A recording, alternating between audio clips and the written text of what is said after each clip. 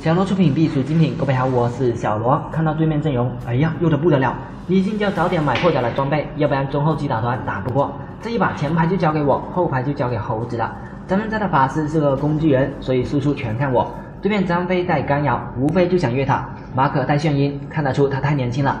这一把老猪不打野，那他前期就是一个猪崽子。直接来看到对象，敌方马可被我压着来打，有辅助也没用，我是有二级的人了，一套一二一过去，小老弟瞬间残血。这个时候他以为我不敢上了，我直接一个翻滚，一炮拿下一血。为什么我这么自信呢？其实我是看到队友来了，所以必须秀上一波。来，继续看到我这里，一个翻滚，二技能预判，再接一炮。这个时候马可出来跟我对 A，咱们家的打野来了，廉颇也有想法，廉颇就要进攻，而且干扰也好了。看意思是要越塔强杀，我把张飞打残，小老弟居然原地翻盾了。张飞没有按住干扰就死了。敌我双方都有干扰的情况下，后手是大于先手的。张飞可能是想保马可，可是这个马可太年轻了，你看他现在还不走，等会又没了。这一局我方廉颇给视野非常到位，有他在前面给视野扛伤打控制，我发育非常好。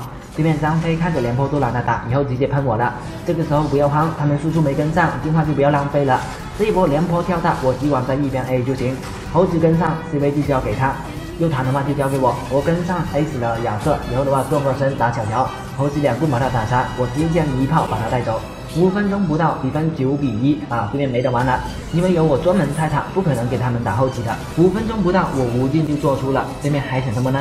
哎呀，都说了这个马可太年轻了，被动没叠就直接壮大，我还真第一次见。看到我的出装了没？这样出装吊打他们的前排，可以看到等级八级打五级，那就是小意思。对面老朱来放了技能就跑了，留下一个张飞一直被我风筝着。最后的话没人来救他，只能被我送回家。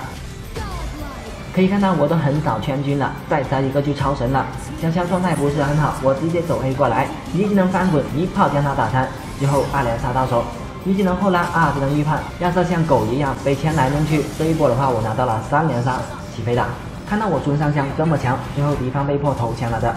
好了，本期先到这里，觉得不错的朋友们记得给我点个赞，我们下期再见，拜拜。